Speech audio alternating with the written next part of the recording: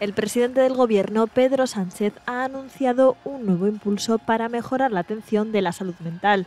Y quiero deciros que en el próximo Consejo de Ministros del martes vamos a transferir otros 38 millones y medio a las comunidades autónomas para seguir desarrollando y desplegando la estrategia de salud mental en nuestro país. Un anuncio que se produce a siete días de las elecciones municipales y autonómicas, pero que sigue colocando de frente al líder de los populares que ha apelado a los votantes de Vox, Ciudadanos y PSOE para que apoyen a la formación azul y echen a Sánchez de Moncloa. Vengo a pedir la oportunidad, en nombre de mi partido, para recuperar la buena política.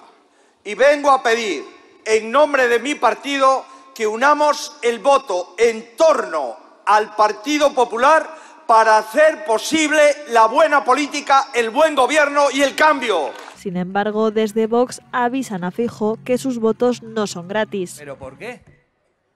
Ya ha salido el, señor de Murcia del PP, que tampoco va a tener mayoría absoluta, igual les ganamos además. Es que igual les ganamos. Es que son un poco, es que son un poco chulos.